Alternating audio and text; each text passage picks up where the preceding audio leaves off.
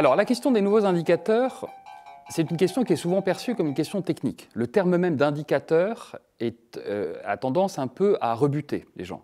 Ce qu'il faut bien comprendre, c'est que derrière la question des nouveaux indicateurs, soit des nouveaux indicateurs de richesse, comme on dit parfois, soit les nouveaux indicateurs de bien-être et de soutenabilité, ce qu'il y a, c'est le fait de faire apparaître les véritables finalités de l'économie. Voilà. L'idée du nouveau monde économique, c'est l'idée que l'économie centrée sur la croissance et sur le PIB, c'est une économie du XXe siècle.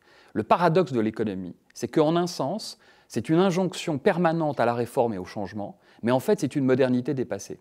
C'est-à-dire l'idée que l'économie, et le seul objet de l'économie, c'est augmenter la croissance du PIB, ça, c'est un objectif du XXe siècle, peut-être même du XIXe siècle, peut-être même déjà que dans le dernier quart du XXe siècle, c'était déjà un objectif dépassé. Donc l'idée, c'est de retrouver les véritables finalités de l'économie, avec deux points très importants. Le premier point, c'est que c'est toujours de l'économie. Ce n'est pas comme s'il y avait les économistes qui traitaient des sujets sérieux que sont la croissance, la compétitivité et l'emploi, et de l'autre, de doux rêveurs qui s'occupaient de la question euh, de la santé, de l'éducation et euh, de l'atténuation des crises écologiques. C'est toujours de l'économie. Et on le perçoit très bien quand on se replonge dans les grands penseurs de l'économie. Le grand drame de l'économie actuelle, c'est que c'est une économie qui est faite, euh, disons, à courte vue, sans aucune profondeur. C'est une économie sans profondeur. C'est-à-dire qu'on ne reprend pas les grands textes classiques de l'économie. Il y a très peu d'histoire de la pensée économique qui est enseignée aujourd'hui dans les formations des économistes. Or, si on on se replongeait dans ces textes, on verrait que chez Aristote, que chez David Ricardo, que chez Malthus, que chez John Stuart Mill, que chez tous les grands penseurs de l'économie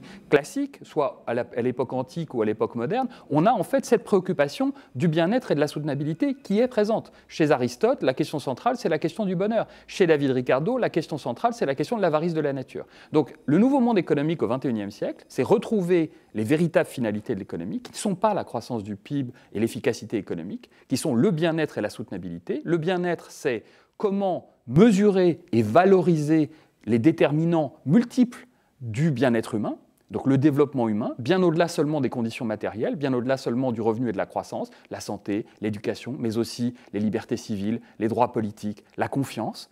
On a des indicateurs qui permettent de mesurer tout ça. Donc ça, et le livre les présente les uns après les autres, y compris en discutant leurs limites. Donc ça, c'est une première priorité, le bien-être. La deuxième, c'est la soutenabilité. Comment maintenir ce bien-être dans le temps, sous l'impact des crises écologiques? Comment faire en sorte que ce bien-être soit durable? Comment faire en sorte qu'il soit dynamique? Et l'enjeu ultime, ce n'est pas mesurer pour mesurer. L'enjeu ultime, c'est évaluer pour évoluer. L'enjeu ultime, c'est mieux mesurer pour mieux gouverner. C'est changer les indicateurs pour changer les politiques.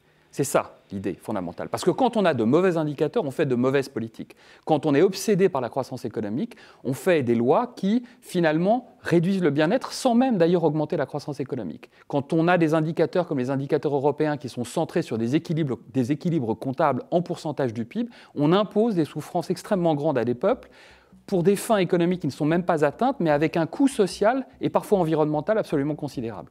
Donc l'enjeu n'est pas mince, ce n'est pas du tout un enjeu technique, c'est un enjeu démocratique.